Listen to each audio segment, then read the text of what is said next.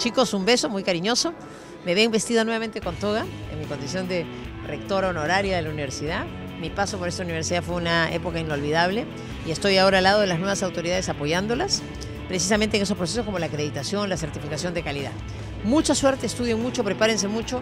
La universidad son ustedes y lo que ustedes transmitan y muestren es lo que le va a dar más prestigio a ustedes, desde luego, y a sus futuros compañeros. Un beso y mucha suerte.